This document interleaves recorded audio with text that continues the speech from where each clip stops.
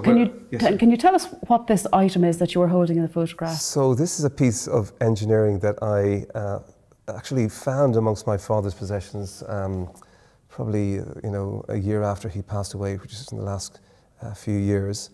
And I was just taken by its, its kind of artistic beauty um, in terms of its shape and the curves that were very much part of, of engineering back then at least. It seems to have a spirit level on it, so it was something to gauge the, you know, the level of something. Uh, it has obviously the gradation for measuring things. Uh, my father was very much taken by mechanical engineering type of. of what of did he do?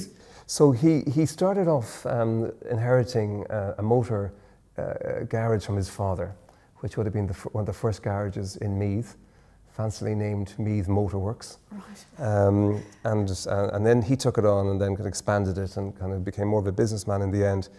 But he always was very interested in, in how uh, things worked. Did he tinker with cars? He did a little bit himself, but you know he would also put together some chemicals and other things together in little pots in the garage that uh, we would look at. So he was a bit of a scientist at heart, but more from the, the mechanical side than the biological side. Um, so when I came across that, I, I, polished it up a bit and, and thought I would keep that for myself as a, as a memory of him. That must have influenced you then slightly in your choice of. Yes, he had a very scientific mind, and so he, he would have been always uh, probing how things worked and how humans uh, were part of that um, voyage of self discovery, and, and in the case of engineering, how to make things and how to pull things apart and reassemble things. So that was very big. That must have been really nice actually to grow up in that kind of a household where there was just a genuine interest in interest in something in, in and in world, how things yeah, work and and and, and, and, and, also the tangible side of the world. So he was very much a, a practical man in that sense as well, you know. Yeah. So maybe introduce yourself. So um, I'm Des Tobin. I'm professor of uh, dermatological sciences at UCD. I'm director of the UCD Charles Institute of Dermatology, which is the, the only um, dedicated academic centre for skin research on the island of Ireland. So my job is to lead a bunch of scientists that are interested in understanding skin function in health and disease. And how did you end do up that. doing that now? So my uh, interest has always been in biology, uh, not really in chemistry or, or, or, or engineering as such. Uh, so I'd be the kid that would bring in a, uh, you know, a nest that would fall off a tree with some broken eggshells into school to put on the nature table from a very early age. So I was very, very interested in the, in the natural world. And did you grow up in the countryside, surrounded by? No, I grew up in the town, okay. but my mother was uh, a country woman in that sense. She she grew up in a farm, and so and we had a really uh, big garden out back, and so uh, my mother would probably try to recreate the countryside in the in the back garden in terms of you know, vegetables and fruits. And wow, unusual, unusual. Yeah, yeah, yeah. So yeah, so that's my, my day job is, is, is as, a, as a biomedical researcher essentially. Uh, but I always had an interest in, in the artistic side of life too, and, and, and definitely where, where art and science comes together. And of course, medicine really is an art uh, in, in, in, in a way that, you know, uh, maybe chemists would be slightly different, you know.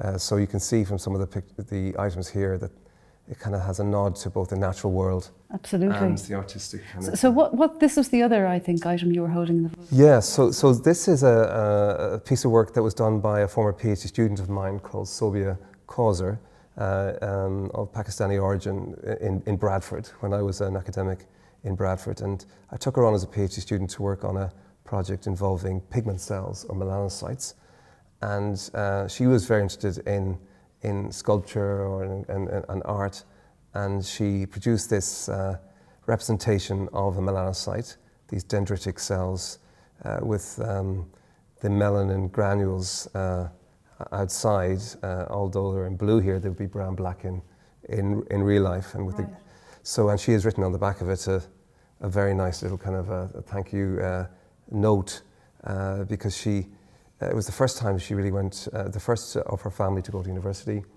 And um, I was very keen to develop her from a second year undergraduate the whole way through to a postdoc level. And now she's a lecturer in her own right at the University of Bradford. So it's a nice, uh, uh, kind of reflection of, of someone who's really blossomed herself, you know. Kind of encapsulates yes, more or less everything, and her doesn't effort it? and her talent. Yeah. Her, her, her talent and and you're, I suppose, yeah, exactly, yeah, yeah, absolutely. Yeah, That's such a so. Is that actually what a melanocyte, the, the, the structure and, and sort of shape of, of a melanocyte, a, a, a pigment cell? Yes, yes. Broadly speaking, um, these cells can have immature forms and mature forms. So this would be more like a mature form, mm. that full spider effect, whereas the immature form of it uh, would be uh, more round, like an I wonder why it's actually that shape. So it's, it's to communicate. Uh, pigment cells derive from a part of the embryo called the neural crest, the same place where our neurons come from. Uh, so some people kind of uh, lazily call them the neurons of the skin.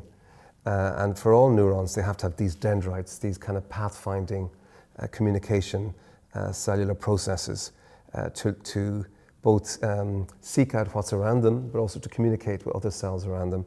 So this dendritic format of the cell is, is very important for you know, kind of sentinel type cells. So, so these are, are cells that contain pigment, this pigment called melanin. Yeah, yeah. Which is like the, the brown, it's a brown. It's a brown black uh, melanin typically for most humans in the world, but uh, in Ireland and Scotland, a few other places, we have a red yellow melanin uh, called pheomelanin, and that melanin is, is, rather unstable, and that's the melanin uh, that's associated with, with higher risk for skin cancer.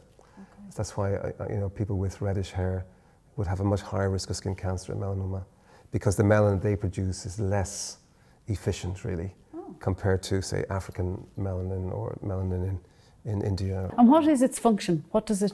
Its function is basically to uh, detoxify the world around it uh, by uh, blocking the um, or screening out the damaging uh, photons from light, from UV light.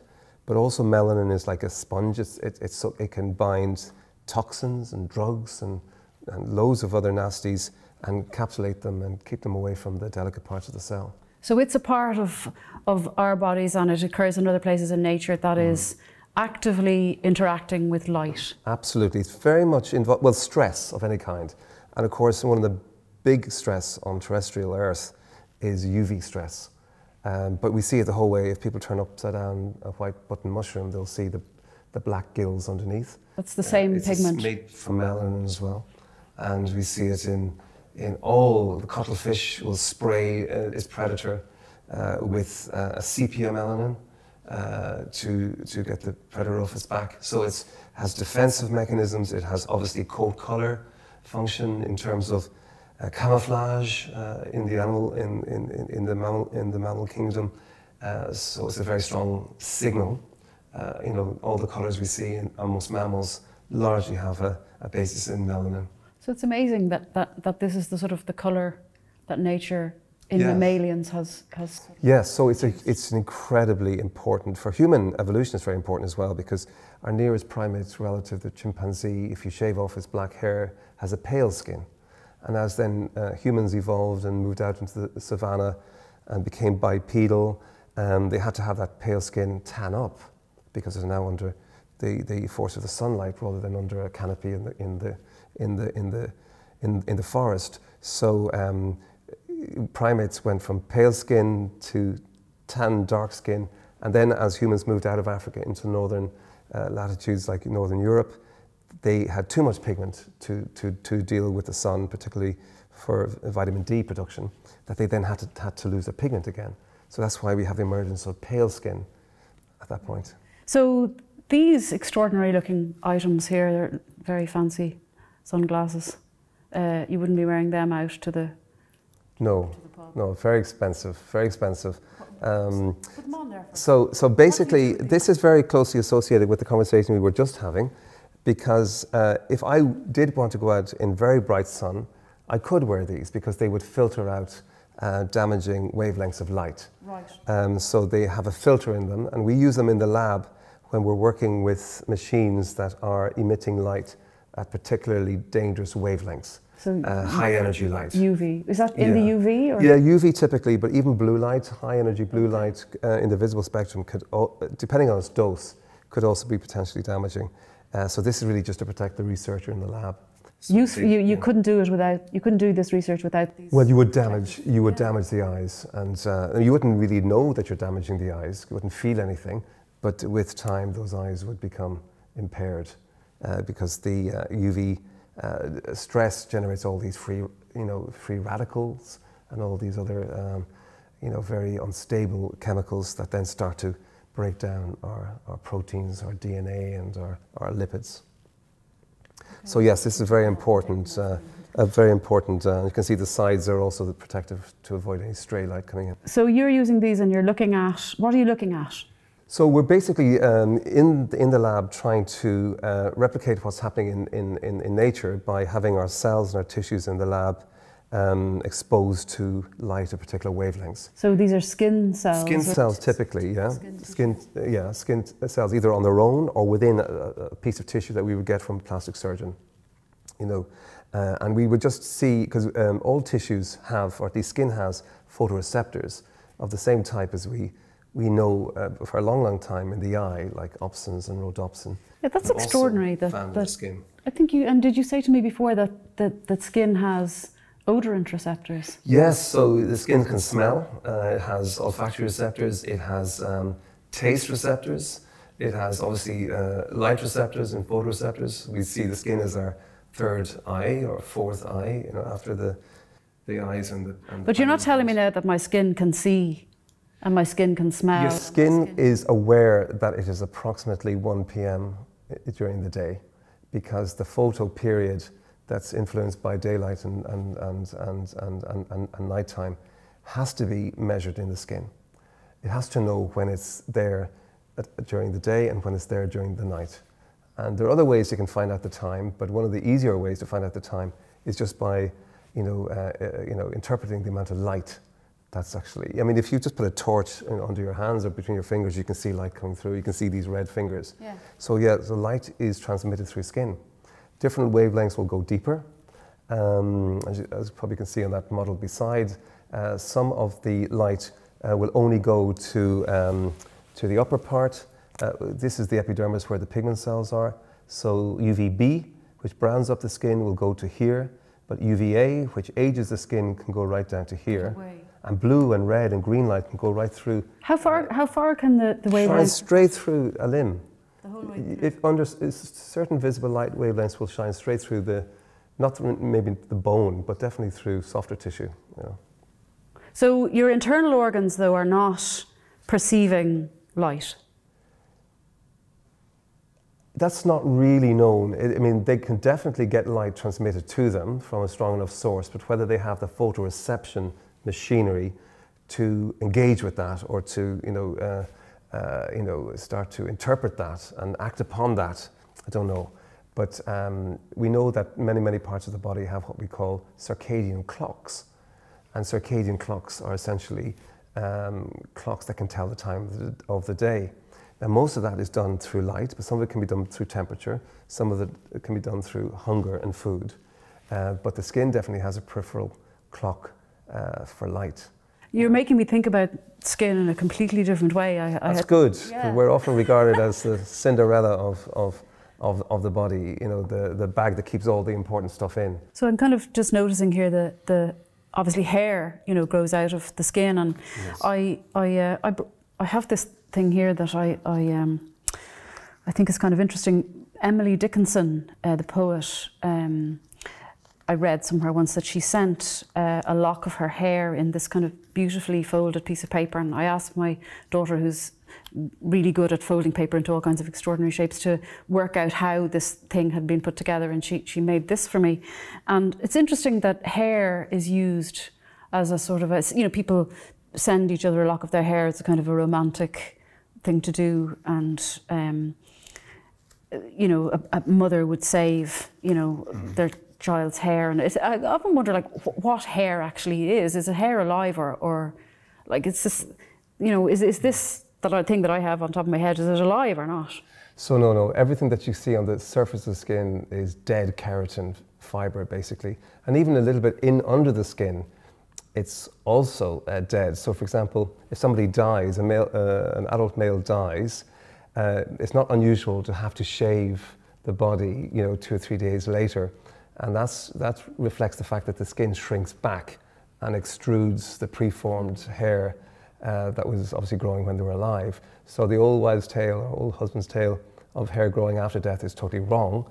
But it is possible for the skin to shrink back and, and extrude the previous growing hair. So the hair seems longer than it did when yeah, they were, yeah, because oh the skin just shrinks. Earlier. Yeah, yeah.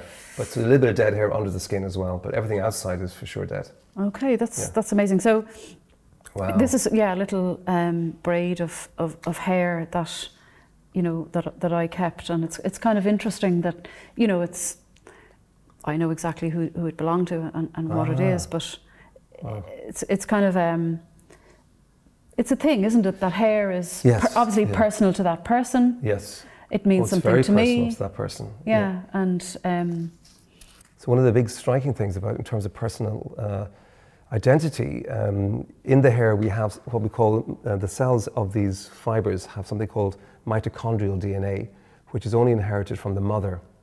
And uh, from a piece of hair, and forensic scientists use this at crime scenes, they can uh, you know, identify the, the, the owner of the hair by the DNA that's locked in. Um, and it's principally reflecting the mother's line because the mother is the only one who can does that mean so? When they say you get your hair from your mother, is that what that? No, I mean there's a lot of uh, a, a, lot of. I mean, some people look, particularly balding sons, tend to see which side of the family to blame. Yeah. But actually, um, and it is important that you look at your kinship to see when they balded and how much they balded. Um, but essentially, it can be a male member of the mother or the father's side uh, that can give you a heads up there. Uh, and it's a bit of a, a, shuffle of the deck, you know, when okay. you when you come across. Uh, but no, the, the, the historical um, interest in, in the hair is very important because, uh, you know, uh, uh, one of my first PhD students, Andrew um, Wilson, got the hair of Isaac Newton and got the hair of Emily Bronte. The hair of Isaac Newton? Isaac Newton, yeah. And essentially, um, it, it, was to look to see whether these people had taken anything in their diet or any drugs, um, like lanthanum, aleadium or lanthanum, I can't remember what it's called, a form of opium, um, which was popular back then and these drugs can be detected in hair.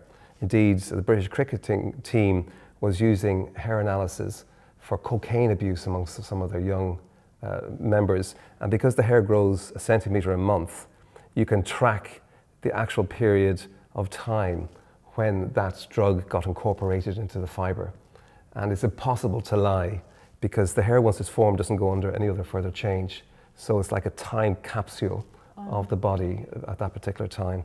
So for drugs, um, but also just even for diet, you know, uh, some of the mummies uh, that Andrew was involved with picking up in, in the Andes and other places in South America, um, some of these mummies were prepared, they were often young maidens that were prepared for the sacrifice, and their diet would have been switched from a very basic diet to a very high-born diet and um, the, the, isotopic signals uh, or signature of carbon and nitrogen in particular could tell when that dietary change had happened, or even whether they lived by the sea and had fish, or lived in the, in the central plains and had maize. You could also tell. Uh, so you can tell status as well as diet from isotopic signatures in hair. So it's a very, very, much better than bone or nail for giving us that uh, kind of insight into. I feel like my eyes are getting wider and wider and wider and wider saucers. I can't believe what you're telling me. That so much information yeah. It's, it's, is contained it's, yeah. in that. And hair is only found in mammals. So the only two things that mammals have, like us, that no other animal has, is mammary gland, the breast, uh, and hair. So they're unique to mammals. So very important for the survival uh, and the, the, the evolutionary survival of, of mammals. That's incredible. I, I, could actually go on talking to you and listening to you all day long, but we better we better call a halt. Thank you so point, much, yeah, no Des. It's brilliant. No